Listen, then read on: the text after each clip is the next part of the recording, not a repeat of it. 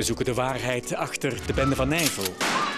Wij moeten tot de vaststelling komen dat er een manipulatie of een poging daartoe van het onderzoek is geweest.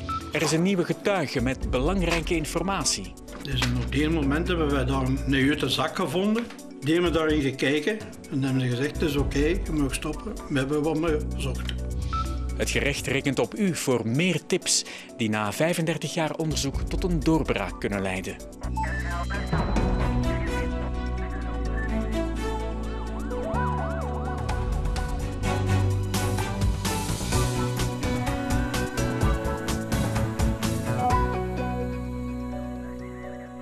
Heel goede avond en welkom. In deze uitzending maar één onderwerp. Het onderzoek naar de bende van Nijvel, die verantwoordelijk is voor 28 doden. Het federaal parket in Brussel en de onderzoeksrechter in Charleroi doen via ons programma een ultieme oproep aan getuigen om de misdaden van de bende na meer dan 35 jaar te helpen oplossen. Ze vragen uw hulp bij drie specifieke opsporingsvragen over de daders. Daarvoor hebben we uitzonderlijk toegang gekregen tot bewijsstukken uit het dossier en kunnen we voor het eerst getuigen aan het woord laten die nooit eerder publiek hun verhaal hebben gedaan. De eerste vraag is de meest cruciale. Ze draait rond de wapens en voorwerpen van de bende die in 1986 uit het kanaal van Ronquière zijn gehaald. U kan helpen achterhalen hoe ze in het water zijn beland. Het kanaal Brussel-Charleroi zo'n drie kilometer van het hellend vlak van Ronquière. In dit troebel water van de Zwaaikom ligt misschien de sleutel tot het raadsel van de bende van Nijvel. 32 jaar geleden, op 6 november 1986, zijn precies op de plek waar nu een woonboot ligt, wapens en andere spullen uit het water gehaald, die rechtstreeks te maken hebben met de bende van Nijvel. De meeste van die bewijsstukken worden op de griffie van het gerechtsgebouw in Charleroi bewaard. Een van de speurders laat ons uitzonderlijk die voorwerpen zien. Nous sommes maintenant au greffe Brabant-Wallon, euh, au sein du palais de justice de, de, Charleroi, là où sont stockées toutes les pièces relatives à l'enquête sur les tueries du Brabant-Wallon.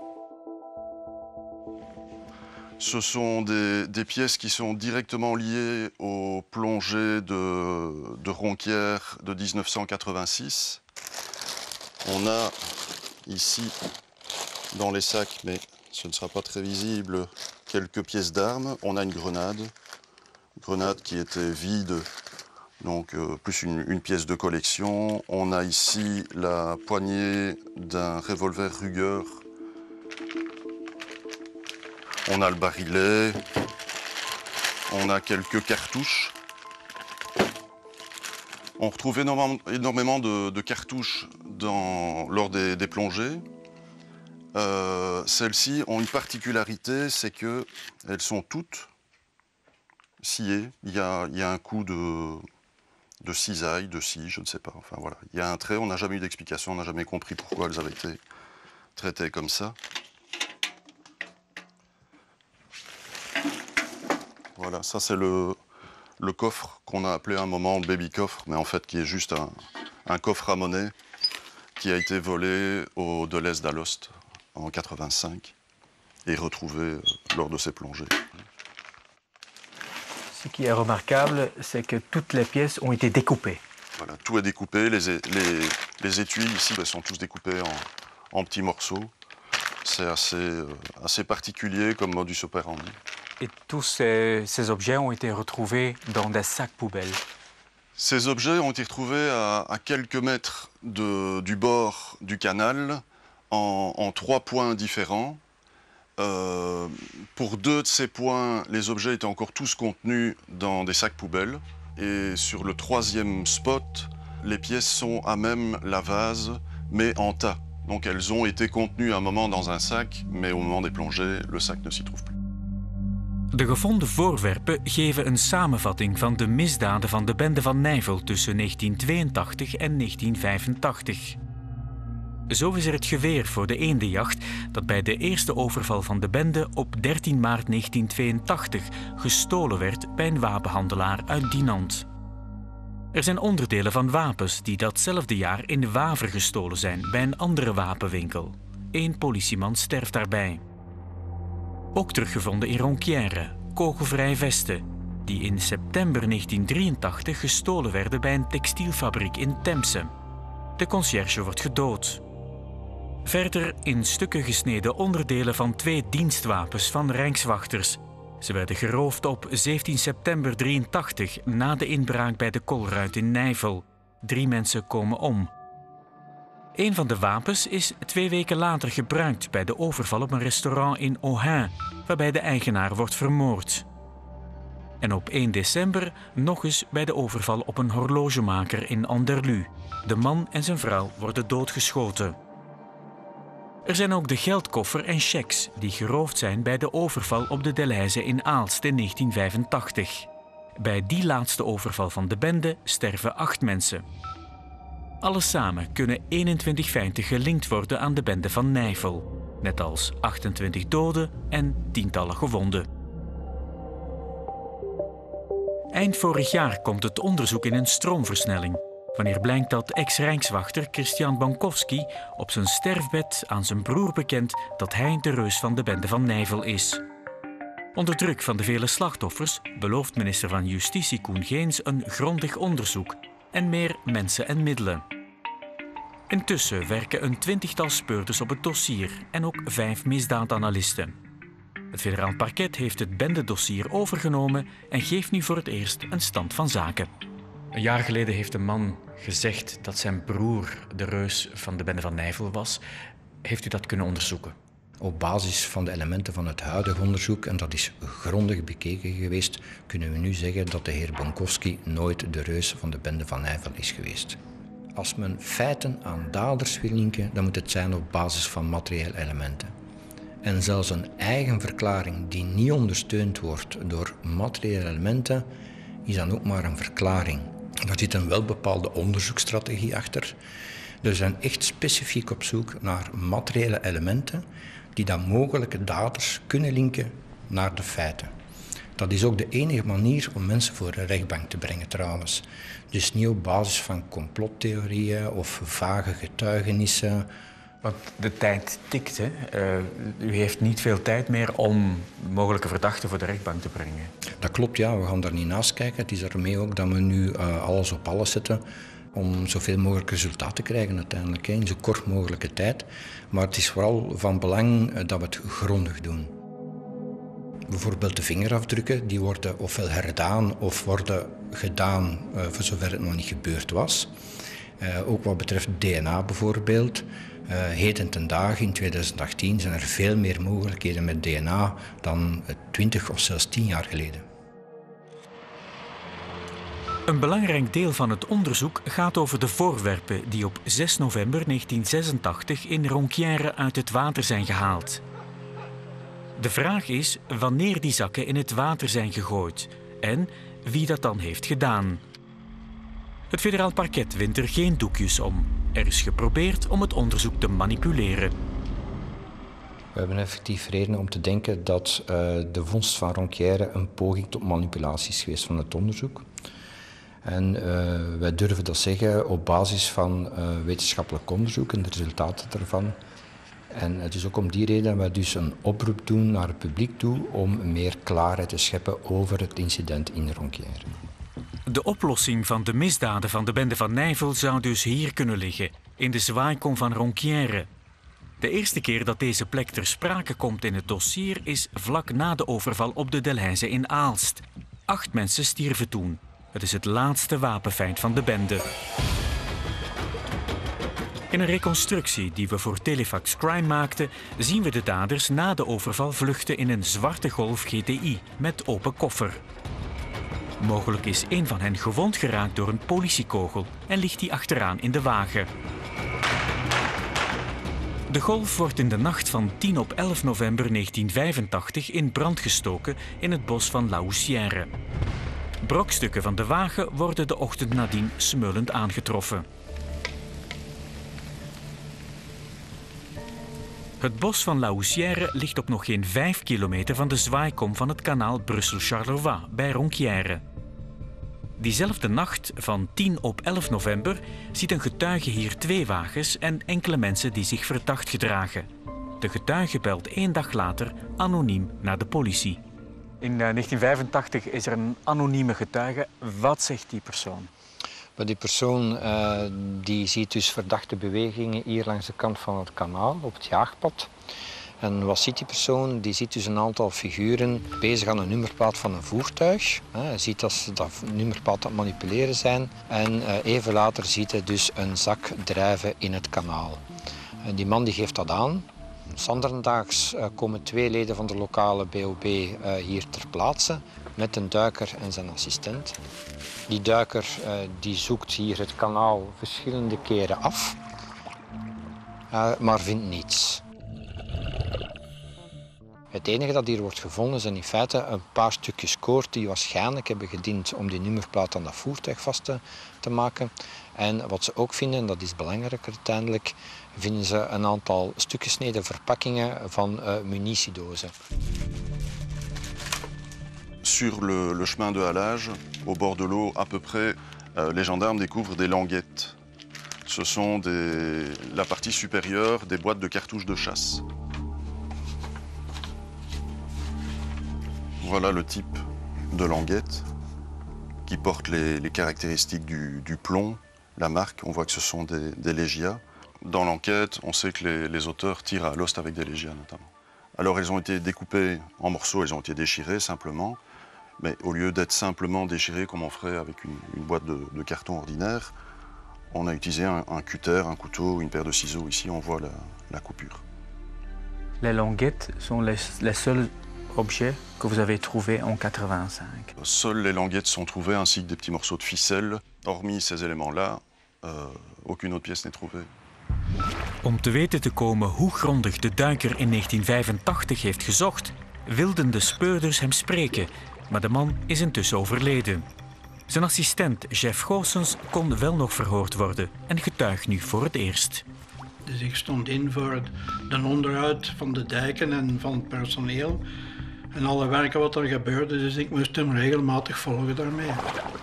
Omdat ik als enige toezichter naar het kanaal was.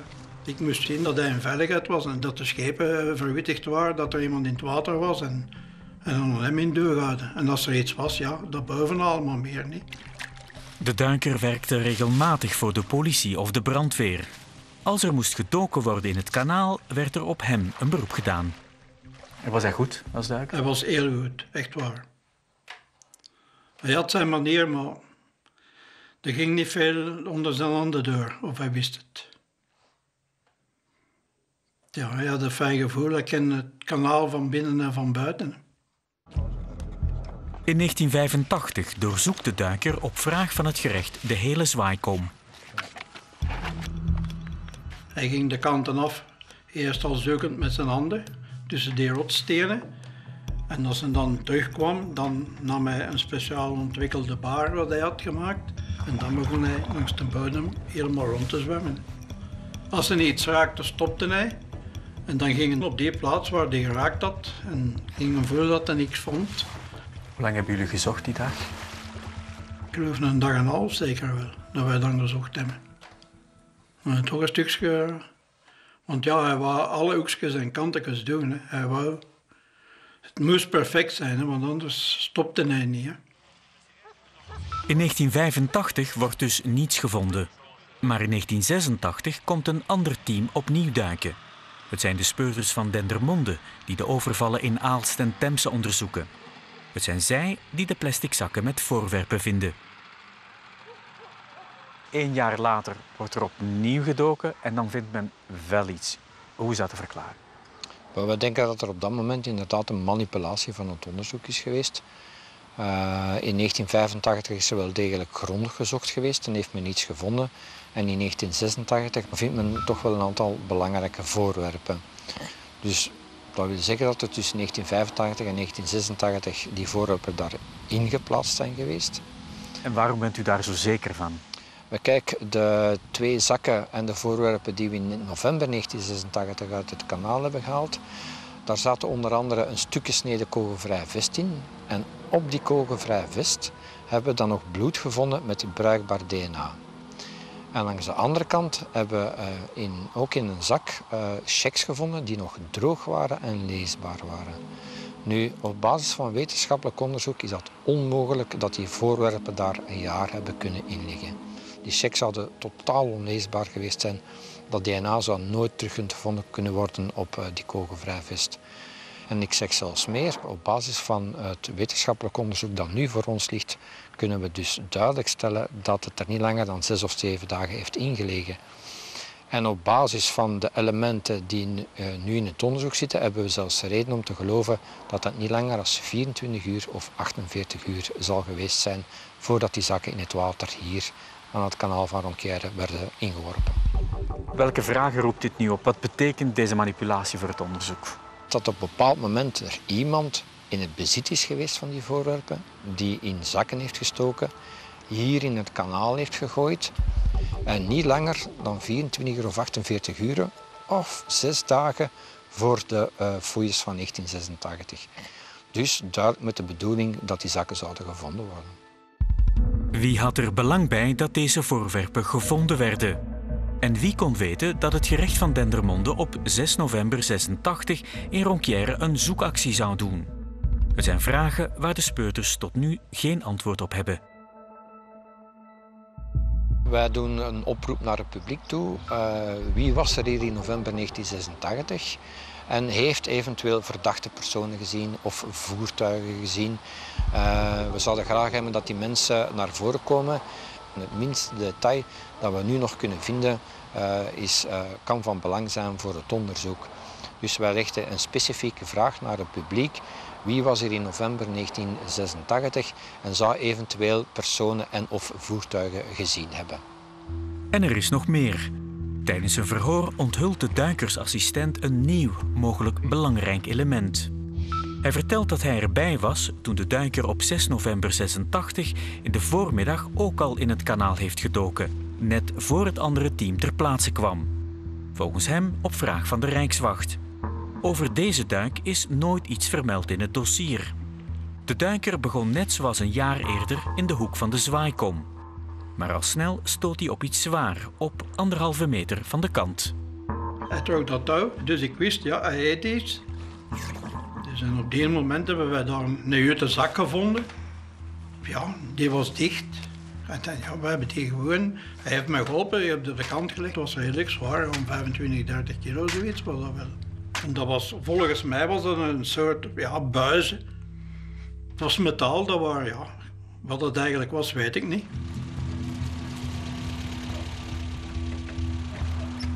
En ondertussen zijn die mensen gekomen wat daar, wat daar een beetje verder stond. En die hebben dan tot bij die zak geweest, die hebben die zak opgenomen, tot op jaagpad gedragen. Die hebben daarin gekeken en die hebben daar een basje over gelegd. En hebben ze gezegd, het is oké, je mag stoppen. We hebben wat we zochten. Voilà. En dat was het. Zou het kunnen dat daar wapens in gezeten hebben? Ja, dat kan zeker, hè. Ja. Kun je niet zeggen, hè. Als je dat uit water haalt, dat zit slijk bij en dat is, ja, je voelt wel dat iets, iets met buizerij is kan ze wel zijn een, een zak met rommel dat ze dichtgebouwd hebben en erin gekapt hebben ook. Hè. Dat is, was allemaal mogelijk. Hè. Maar ik heb hem nooit niet gevraagd, wachter wat zoekte, of wat, wat moeten we hebben, of hoe, of wat. Voor mij was het voornaamste dat hij in veiligheid terug boven kwam, dat er niks gebeurde en dat er geen schade was aan de dijken of zoiets. En voor de rest maakte het mij niet uit. Hè. Waarom denkt u dat het om rijkswachters ging? Ja, maar dus met dat dr Dus dat waren... Wie komt daar anders met drie personen? In die tijd was dat zo, hè. wij zeiden tegen de mannen van de BOB, ja. Ik zag niet in wie dat anders zou geweest hebben. Hè. Er was niemand anders niet bij. De assistent beschrijft een van de mannen als fors gebouwd. Hij sprak Nederlands, de twee anderen Frans. Er is geen spoor meer van die jutte zak. Niet in het dossier van de bende van Nijvel en ook niet in een ander gerechtelijk dossier. Nochtans lijkt de verklaring van de assistent zeker te kloppen. U heeft de verklaring van de assistent van de duiker, maar is daar ook een bevestiging van? Wel, uh, er is een vriend van de duiker ook verhoord geweest in der tijd. En die man die uh, bevestigt het verhaal van de duiker en van de assistent van de duiker. De duiker heeft hem dus uh, in der tijd ook zo het verhaal verteld zoals het nu in het dossier staat. Een witte of beige R4 was in die tijd het dienstvoertuig van de BOB, de bijzondere opsporingsbrigade van de Rijkswacht. Wie waren die drie mannen dan? Wat zat er in de juttezak en waar is die naartoe? En heeft dat iets te maken met het bendeonderzoek? Tot op vandaag is daar geen duidelijkheid over. Ook dit zijn vragen waar de speuters dankzij uw hulp een antwoord op hopen te vinden. Intussen draait ook het DNA-onderzoek op volle toeren. Onder andere op de kraag van de kogelvrij vest die in Ronquière werd gevonden. Voilà le, le col de gilet pare-balles qui a fait l'objet des, expertises. On a la partie la housse en nylon kaki et on a les couches de Kevlar ici au-dessus. J'ai ici les, photographies qui ont été prises par le laboratoire au moment de cette expertise-là. Un produit réactif est pulvérisé sur l'ensemble du col. Le produit est réactif dans le sens où quand il entre en contact avec le fer présent dans l'hémoglobine, il diffuse une lumière. Donc on a ici une prise de photo avec une très longue ouverture a permis d'accumuler cette lumière-là et de localiser les taches qui peuvent avoir été euh, en contact avec du sang ou imprégnées de sang. Une fois que ces, points ont été localisés, le laboratoire a effectué des prélèvements. Euh, ces prélèvements-là ont été traités et un ADN masculin complet a été dégagé de ces traces. Et donc l'ADN est depuis quelques années systématiquement comparé à toute la banque de données. Et malheureusement sans résultat jusqu'à présent. Twee weken geleden is de kraag naar een laboratorium in Frankrijk gebracht om daar nog verder onderzocht te worden. Heeft een deel van de kogelvrijvest naar Lyon gestuurd, naar een gespecialiseerd lab. Wat verwacht u daarvan? Wel, kijk, vermis dat dat nog een expertise is die nog moet gebeuren, kan ik daar weinig over zeggen. Maar het is in ieder geval een feit dat dat deel uitmaakt van de verfijning van dat onderzoek. Uh, er zijn nu huidige technieken die ons misschien de mogelijkheid gaan geven uh, om meer te leren over dat DNA. Ik kan niet in detail treden natuurlijk, uh, maar we gaan proberen wat meer gegevens uit dat DNA op die kogelvrij te halen. Zometeen in deel 2 zoeken we een van de daders van de bende die de Delhaize in Beersel overviel. Et c'est là franchement que j'ai vu qu'il y en avait un qui avait une tache de vin, mais la tache bien visible. En we willen weten wie de rode golf van een van de slachtoffers zwart heeft gespoten.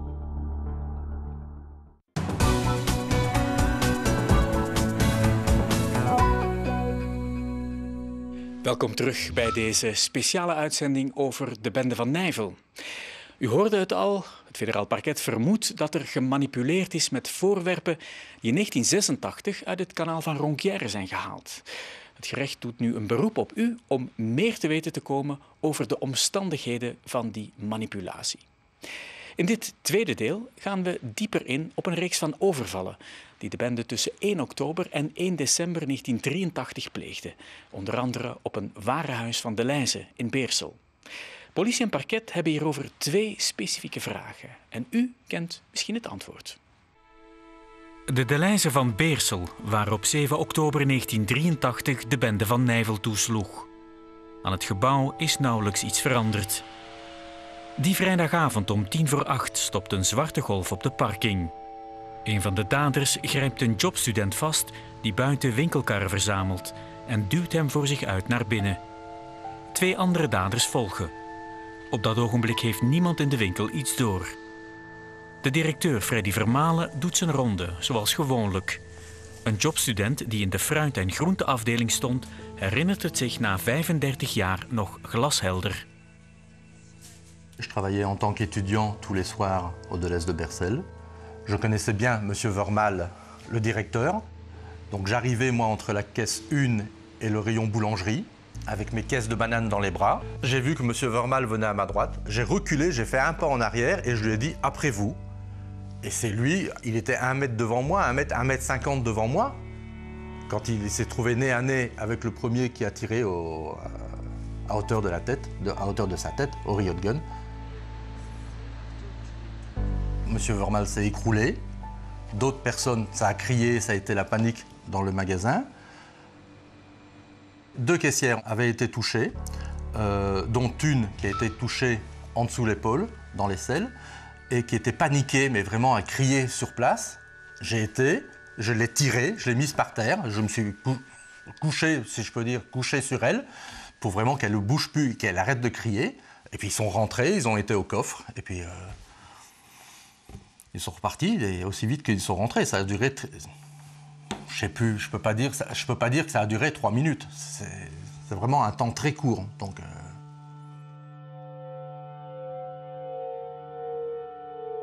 c'est un cas de guerre. Je pense que la scène que j'ai vue était vraiment ce qu'on pourrait voir en cas de guerre, alors que là, on n'est pas du tout, on n'était pas du tout en cas de guerre. C'est, voilà, J'en ai, des, j'en ai des frissons là maintenant à, vous dire ça, parce que bon, c'est, remuer le passé, mais j'ai les images encore mais, euh, dans ma tête euh, vraiment euh, très claires. Na de moord op directeur Freddy Vermalen vaardigt de hoofddirectie van de Leize een beloning uit voor de gouden tip over de daders. De feiten, niet alleen in Beersel, maar ook in andere supermarkten van de Leizen, heeft het bedrijf echt wel geraakt, echt in het hart. Uh, op dat moment, meer dan 30 jaar geleden, was de Leizen ook een echt familiebedrijf waar heel veel familieleden ook uh, ja, persoonlijk in het bedrijf werkten. Zij waren ook zeer aangeslagen door die, door die gebeurtenissen en ze hebben heel snel beslissing genomen om 10 miljoen Belgische frank in die tijd, wat veel geld is, om die ter beschikking te stellen voor, uh, voor die gouden tip. En die beloning is nog altijd niet uitgekeerd, ook niet deels? Nee, Nee, die staat nog altijd open, staat nog altijd ter beschikking. Wij staan in uh, overleg met het parket. Wij krijgen ook zelf heel veel informatie binnen, uiteraard, van mensen die menen de gouden tip te hebben. Die informatie gaat rechtstreeks door naar het parket. Het is het parket dat zal beslissen of dat we inderdaad kunnen spreken van een gouden tip die echt die doorbraak heeft, uh, heeft verzorgd.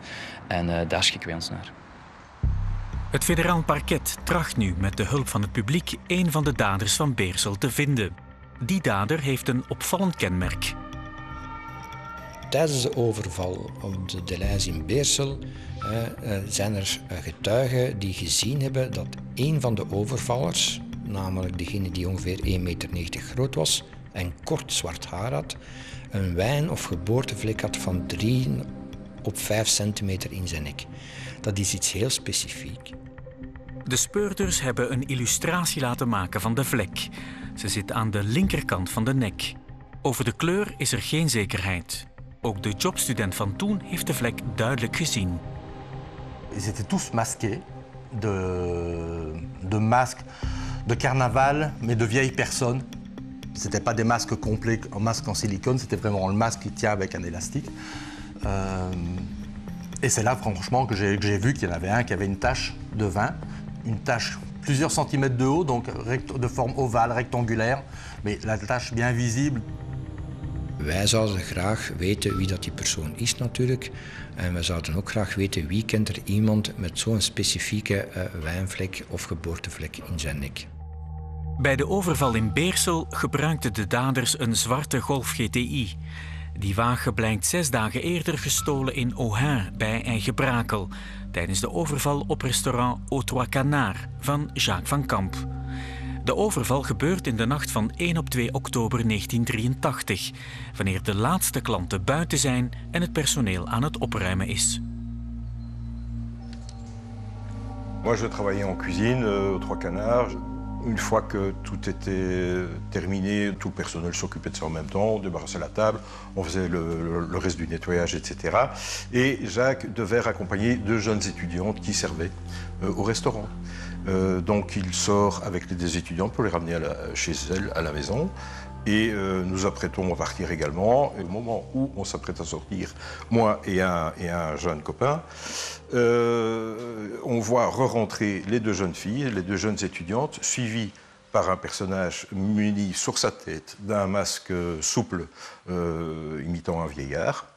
Et donc, je l'ai pris à la blague, croyant que c'était Jackie qui rentrait pour faire une blague. Et puis bon, on s'est vite rendu compte que ce n'était pas lui du tout. Le type est rentré, a dit qu'on devait se coucher dans, la cuisine, à même le sol. Euh, et une fois qu'on était couché, il a commencé à demander les clés de la Porsche, euh, l'argent, la caisse. Bon, alors il a demandé les clés de la Golf GTI, de la fille, donc de Catherine. Euh, elle s'est exécutée, lui a donné les clés de sa voiture. Et moi, il m'a demandé si j'avais de l'argent. Euh, J'ai dit que je n'en avais pas. Euh, et puis il s'est penché vers moi et a plongé deux doigts euh, roses, puisqu'ils étaient munis de gants de vaisselle roses. Il a plongé deux doigts dans, ma poche, euh, dans la poche de mon blouson pour en extraire un agenda. Euh, ensuite, il nous a dit euh, de ne pas bouger, sinon il tirait dans le tas. Euh, pour nous montrer qu'il ne racontait pas de blague, il a tiré euh, dans un frigo une cave de jour pour du vin. Il a cassé des bouteilles, donc il y a du vin qui s'est répandu sur le sol. Euh, et il a donc dit qu'on ne bouge pas tant qu'il ne soit pas parti. Sinon, il tirait. Et donc, il est sorti. On a entendu des coups de feu à l'extérieur. Je ne peux plus vous dire combien exactement, il y a trop longtemps. On a entendu plusieurs coups de feu et on a entendu un véhicule démarrer. Bon, là, on s'est regardé, on s'est levé, on est allé voir, on a vu sur le parking, allongé sur le dos, Jackie Van Camp avec une balle dans la tête. Jacques van Kamp overlijdt in het ziekenhuis. De daders stelen de rode Volkswagen Golf GTI van zijn dochter Katrien. De wagen wordt nadien nog voor twee andere overvallen gebruikt.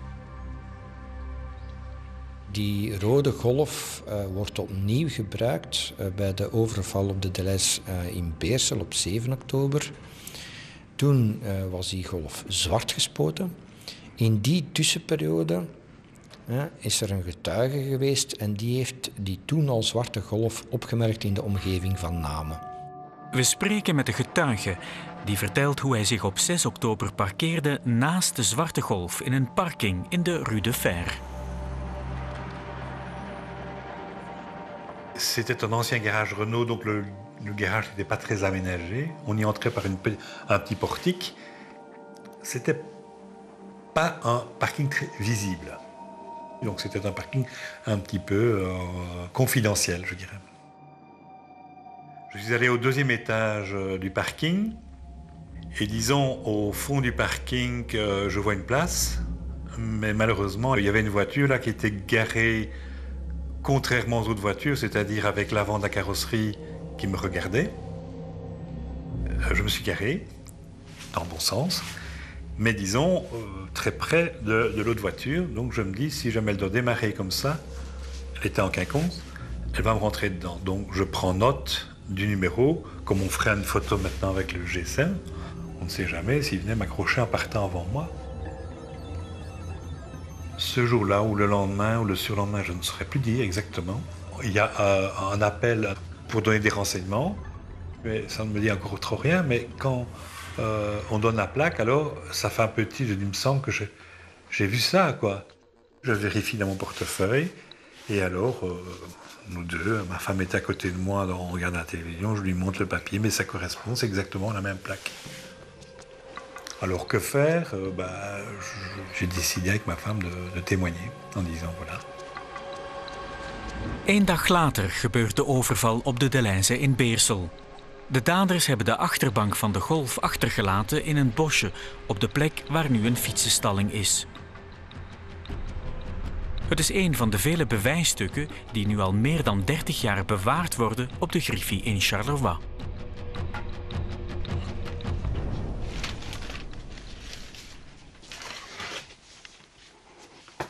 Voilà, j'ai ici la, banquette de la, Golf, Golf volée à Madame Van Camp. Cette banquette a été retrouvée sur le parking du Deleuze de Bersel. En fait, un témoin a vu euh, les, auteurs du hold-up s'arrêter au fond du parking et sortir cette banquette pour l'acheter dans les buissons.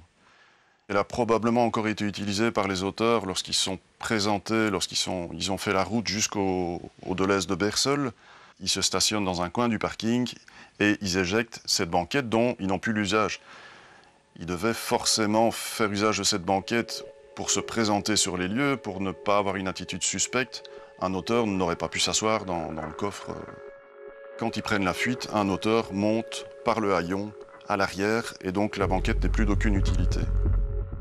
Acht weken na de overval in Beersel duikt de zwartgespoten golf op in Anderlu, dichtbij Charleroi. Op 1 december 1983, rond half zeven s'avonds, stopt de wagen voor een kleine horloge- en juwelenwinkel. Drie mannen stappen uit en gaan naar binnen. Er vallen schoten en de mannen stormen buiten. Een getuige belt de politie. Rijkswachter Jocelyn Meisters komt als eerste ter plaatse. J'étais au bureau. Et alors le dispatching de la Louvière m'a dit écoute, on a tiré des coups de feu à la bijouterie, rue de la station. À mon arrivée, que, bon, il n'y avait plus personne dans la bijouterie. Donc, je suis allé vers l'arrière de la maison. Dans la cuisine, j'ai constaté qu'une dame était étendue au sol. En allant dans l'atelier, au-delà de la cuisine, j'ai vu le bijoutier aussi avait été tué, mais d'une façon horrible. Quoi, parce que il y avait plusieurs impacts que j'ai vus. Hein, euh, ils ne donnaient plus signe de vie non plus. Donc ils avaient été, pour moi, massacrés. Alors, j'avais remarqué, parce que je voulais l'identité exacte du bijoutier, déjà son nom, je ne savais pas comment ça s'écrivait, donc j'ai vu sa carte d'identité dans son portefeuille qui se trouvait dans la poche de son pantalon, et il y avait plus de 100 000 francs Dans le tiroir caisse de la bijouterie Provence, il restait aussi de l'argent. Tous des billets, quelques, de la monnaie, quoi, des billets. Rien n'a été pris. Donc, c'est pas tuer des personnes vraiment pour tuer, quoi. On, supprime deux vies, un homme, une femme, qui a deux enfants, qui ne demandent rien à personne. C'est ça que, fait mal, Diezelfde avond nog wordt de Zwarte Golf in brand gestoken in een bos op nog geen vijf kilometer van de horlogewinkel. Die golf is uitgebrand, maar door wetenschappelijk onderzoek blijkt dat die uitgebrande zwarte golf de rode golf is uh, die werd uh, gebruikt of gestolen bij de overval op het restaurant uh, Le Trois Canards op 2 oktober 1983. Nu heel specifiek is dat op een bepaald moment die rode golf zwart is gespoten. En dat is in feite ook een oproep die we nu doen aan het publiek. Wij zouden graag willen weten wie heeft die rode golf ooit zwart gespoten. Uit het onderzoek is gebleken uh, dat dat toch op een redelijk professionele manier is gebeurd. Dus de vraag is, wie heeft die rode golf ooit zwart gespoten? Het federaal parket rekent ook op de nieuwe wet op de spijt op tante. Die wet is van kracht sinds augustus van dit jaar. We kijken, de wet op de spijt op tante, en dat is geen geheim, is er ook vooral gekomen om uh, mensen in het kader van het dossier van de bende van Nijvel een kans te geven om naar voren te komen. Het gaat dan om mensen die daar van ver of dichtbij betrokken zijn geweest bij de activiteiten van de bende van Nijvel. Dat kunnen mensen zijn bijvoorbeeld die een crimineel feit hebben gepleegd, maar op dat moment uh, niet echt beseften dat dat gelinkt was aan de activiteiten van de bende van Nijvel. Ook mensen die echt betrokken waren bij de activiteiten van de bende van Nijvel krijgen nu een kans om naar voren te komen en effectief ook spijt op tand te zijn. En dat wil dus zeggen dat die mensen in ruil voor uh, duidelijke en oprechte verklaringen een strafvermindering kunnen bekomen voor de feiten die ze gepleegd hebben. Is het na meer dan 30 jaar nog mogelijk om tot een oplossing te komen in dit dossier? Maar kijk, uh, wat er zeker gaat gebeuren is dat we alles gaan doen om uiteindelijk ergens tot een sluitstuk te komen. Zal dat nu zijn dat er mensen kunnen vervolgd worden en veroordeeld worden? Of gaan we uiteindelijk tot de conclusie moeten komen dat we alles geprobeerd hebben, maar dat we het antwoord niet gevonden hebben? We moeten daar eerlijk in zijn, beide mogelijkheden zijn er. Maar het belangrijkste is dat er nu echt alles aan gedaan wordt om zoveel mogelijk antwoorden te vinden op de vele vragen die vooral de slachtoffers zich stellen.